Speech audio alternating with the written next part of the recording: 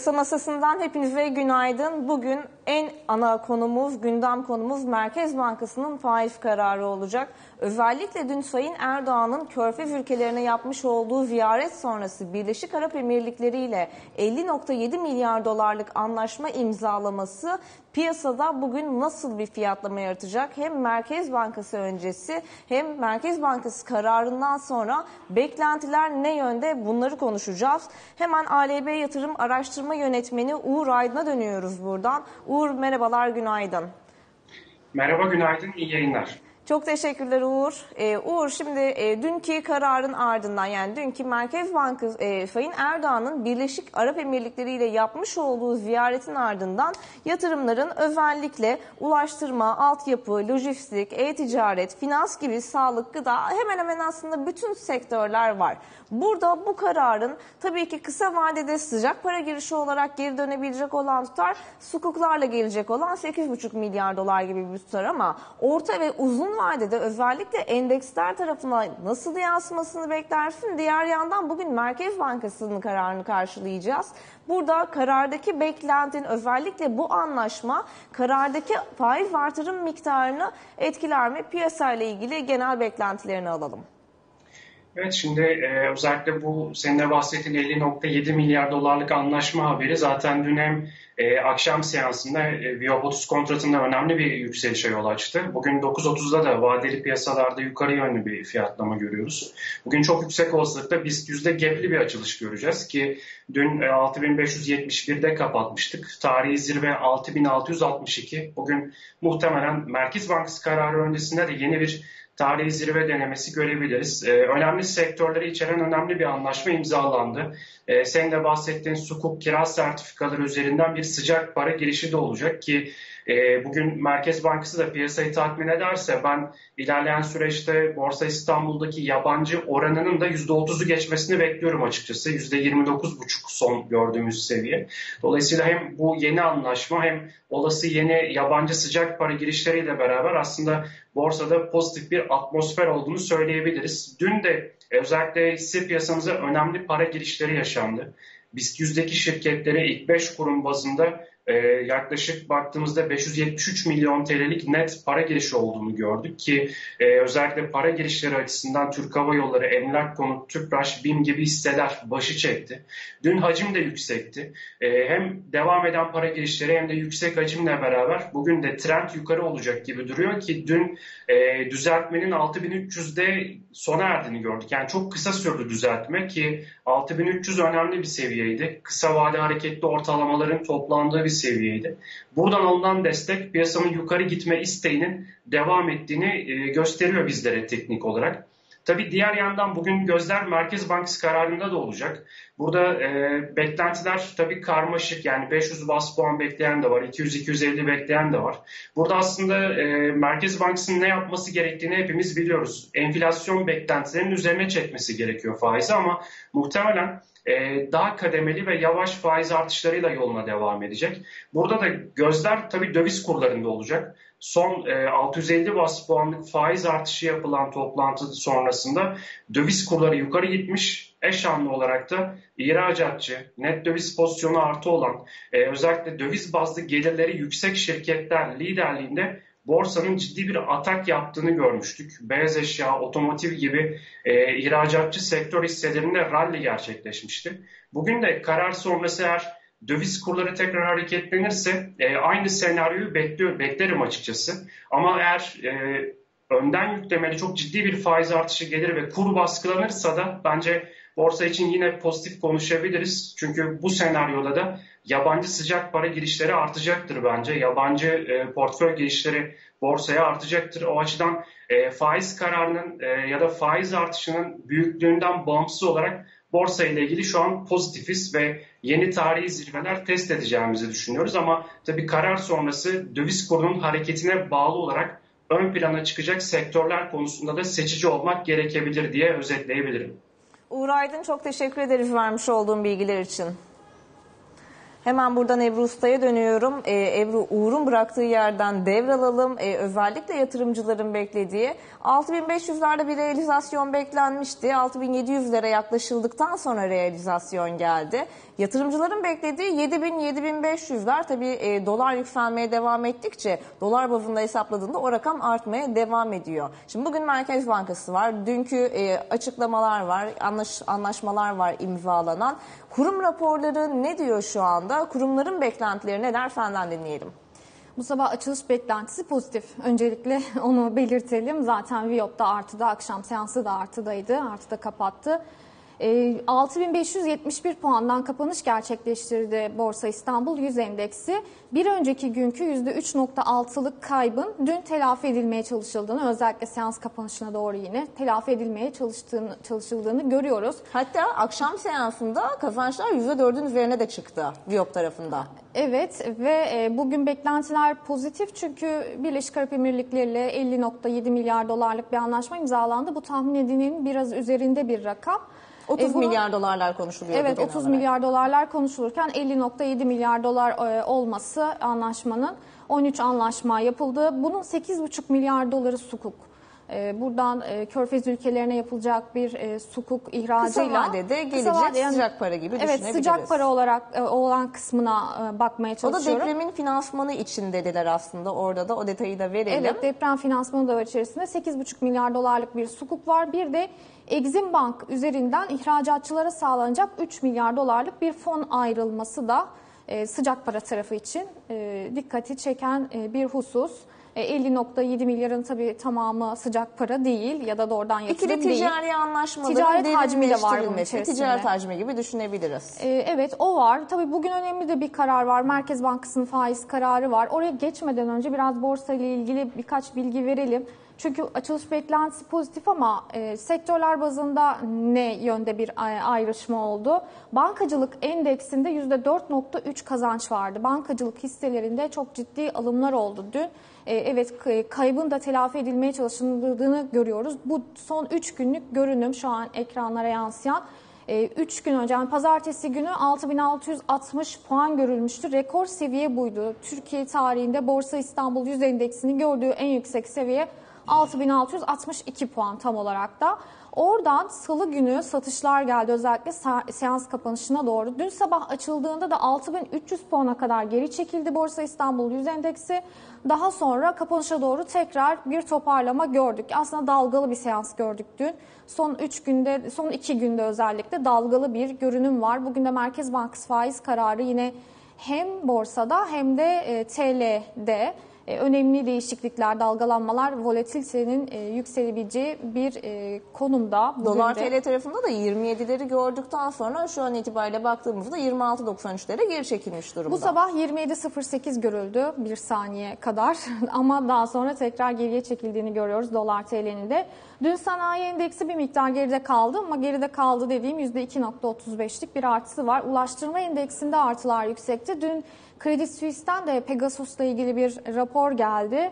Onu da kısaca aktaralım. 683 lira 80 kuruş olan hedef fiyatını Credit Suisse Pegasus için 848 liraya yükseltti. Endeks üstü getiri tavsiyesinde korudu. Dün kapanış fiyatı 731 lira 70 kuruş seviyesindeydi. Dün de artıda kapanış gerçekleştirdi. %4 civarı sanıyorum Pegasus. E, dün e, ulaştırma hisselerinde şöyle bir e, ayrıntı vardı tavan fiyat uygulamasında 1150'den 1650, 1650 TL'ye yükseltildiği ile ilgili haberler vardı. E, tavan fiyat yükseltildiği için artık gelirlerinde artış beklentisi var. Kurumlar da bundan sonra tabii güncellemeye gidebilirler. Dün Kredi Suisse'den Pegasus raporu geldi. Dün Borsa İstanbul 100 endeksinde sadece 100 hisseden sadece 4 eksideydi. E, işlem hacmi 119 milyar TL ile yine yüksek seviyelerde diyebileceğimiz bir işlem Hacimli hacmi gerçekleşti. yükseliyor borsa aslında. Evet yani 100 milyar TL'nin üzerine artık oturmuş bir hacim var e, ilgi yüksek. Bugün de 3 yeni halka arzın talep toplaması var. Dün bir tanesi başlamıştı Atakey Patates. Diğer iki e, şirketinde bugün başlıyor. Üç şirketinde bugün ve yarın devam edecek. Halka arz talep toplamaları uzun bir süre sonra ilk kez halka arzlarımız var. Üç tane. E, Ataköy patateste 33,5 lira e, halka arz fiyatı var. Arz büyüklüğü 1.1 milyar TL. Kale seramik 25 TL halka arz fiyatı. Arz büyüklüğü epey yüksek bir e, halka arz bu. Kale seramik 2.7 milyar TL'lik bir halka arz büyüklüğü olacak. Huzur Gelioğlu'da da 817,5 milyon TL'lik bir halka arz büyüklüğü var. Borsa İstanbul açıldı. 6633 puandan %1'e yakın 0.95 pozitif diyelim. Devam edelim e, Ebru. Bu üç yeni halka arzın hepsi eşit dağıtım bireysele. E, hepsi katılım endeksine uygun. Hepsinde nakit, hisse ve fon blokajı var.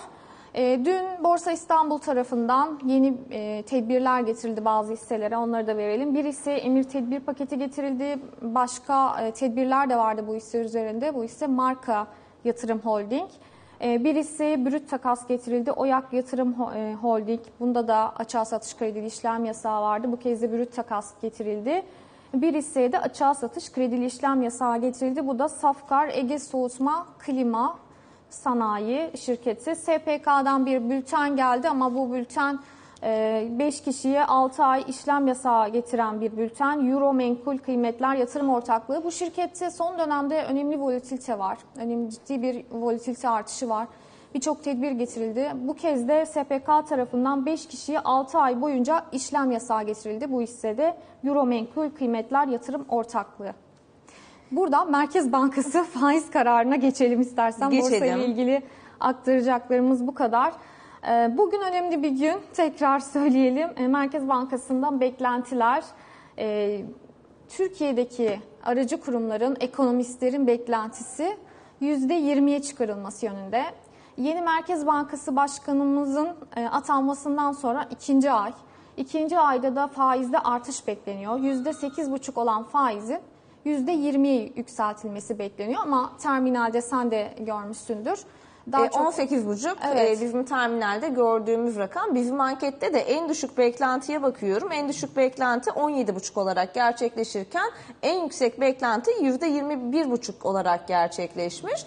Diğer taraftan geçen ay yaptığımız ankette medyan beklenti yıl sonu faizin %30 olmasıymış. Bu ayki beklenti %25'lere gerilemiş. Yani yıl sonuna kadar yapılacak faizlerin oranında bir indirim bekleniyor. Hani daha az faiz artıracak Merkez Bankası diyor. Tabii bunda maliye politikaları artı dışarıdan yapılan bu gibi anlaşmaların e, ekonomi politika yapıcılarının elini güçlendirmesinin etkisi de olabilir. Çünkü sadece para politikalarıyla enflasyonla mücadele eden edilen bir ortamda değiliz şu anda. Maliye politikaları artı diğer e, doğrudan yatırımlar, e, sermaye yatırımları tarafında da destek bulunmaya çalışılıyor. Bunun etkisi diyebiliriz aslında belki de. Şimdi geçen ay aslında çok daha büyük bir belirsizlik vardı faizde. E, faiz %8,5'tu ve nereye yükseltecek? Herkes evet faiz yükseltilecek ama nereye gelecek? İşte Goldman Sachs %40 e, bekliyordu.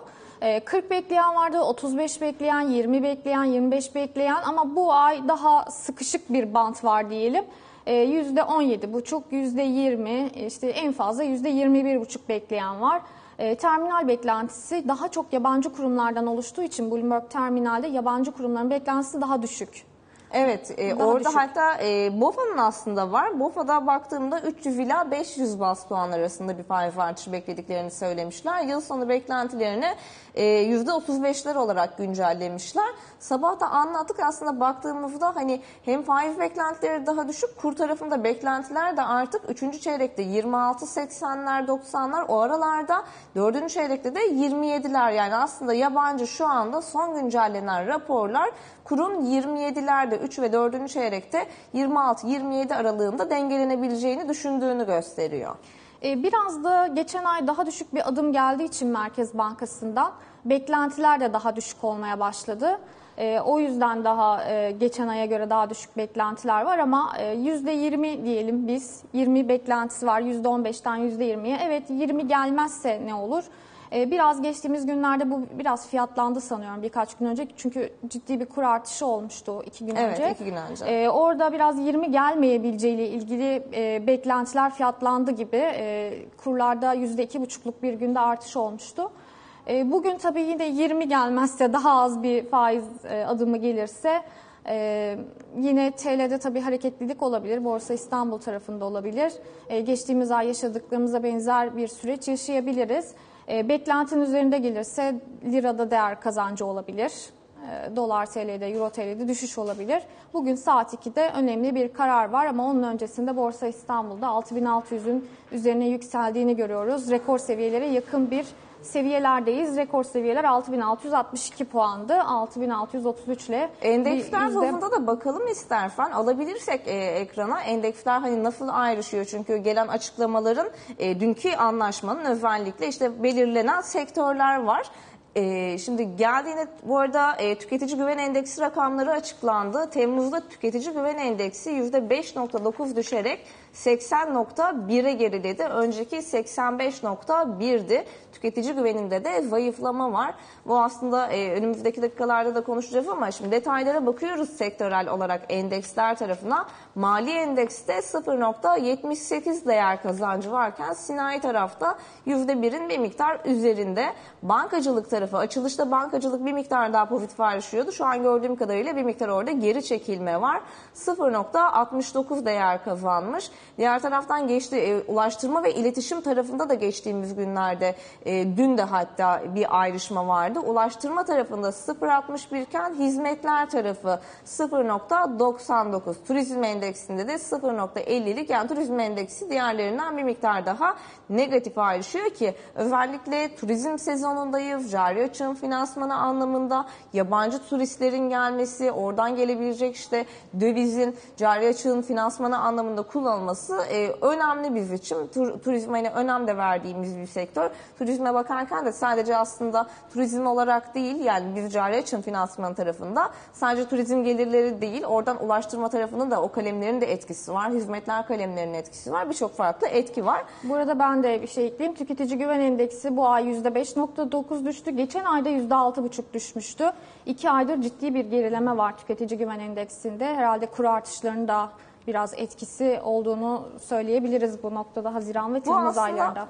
Yani biraz da şundan kaynaklı olabilir mi Ebru? Şimdi e, çok fazla baktığımızda gelen vergi artışları, zamlar, ÖTV, KDV, işte para politikalarıyla likiditenin sıkılaştırılması yani finansal koşulların sıkılaşması Satın alma gücünün satın düşmesi. alma gücünün düşüyor olması, belirsizliğin artık hani bu gelen zamlarla birlikte ve uygulamalarla birlikte e, marjların artık daralmış olması, tüketicilerin hani e, ekonomiye dair güvene güvenin bir miktar daha gerilediğinin göstergesi. Çünkü baktığımızda gelen bütün zamların ya da bütün etkilerin bir yerde dolaylı vergilerin toplam vergiler içerisindeki payı %80'lere yaklaşmış durumda. E, bunun da etkisi olabilir mi sence? Ee, Hem onların etkisi hem de dolar e, arttıkça dolar bazında e, satın alma gücü de düşüyor. Ee, Örneğin işte asgari ücret- ücrete zam yapılıyor. Ee, İşte eline geçmeden tabii dolar bazında baktığında dolar bazında geriye geliyor. Bu da satın alma gücünü e, düşüren bir etkisi var. E, tüketici güven endeksindeki iki aydır ciddi geri çekilme e, dikkat çekici. Buradan istersen e, süremizin yettiği kadar Devam edebiliriz. Biraz daha var beklentilerden e, aktar, aktaralım. E, ziraat yatırımın bilanço beklentileri geldi. Ondan birkaç satır başı aktarayım çünkü bilanço sezonu da yarın akşam başlıyor. E, özellikle e, bankalarla başlayayım. E, bankalar Sözünü tarafında keseceğim Ebru. TÜİK'ten gene yeni gelen son dakikalar var. Yurt dışı üfe Haziran'da yıllık %39.92, aylık bazda da %15.62 arttı. aylık artış ciddi Aylık artış miktarda. ciddi bir artış aynen öyle. E, ziraat yatırımın bankalarla ilgili beklentilerine geçeyim. Bu bu çeyrekte bankaların net faiz gelirlerindeki düşüş karlılığı baskılayan önemli bir ana kalem olurken en çok düşüşü kamu bankalarında net faiz gelirlerindeki e, gelirlerdeki artıştan bahsediyoruz. Kamu bankalarında en çok düşüşün görüldüğü söyleniyor. TÜFE tahminini değiştirmeyen Garanti Bankası ve enflasyon tahminini yukarı yönde revizyon yapan Akbank bu daralmadan görece az etkilenmiş. Garanti Bankası ve Akbank'ta düşüş sırasıyla %9 ve 10 15.4 olarak hesaplanmış.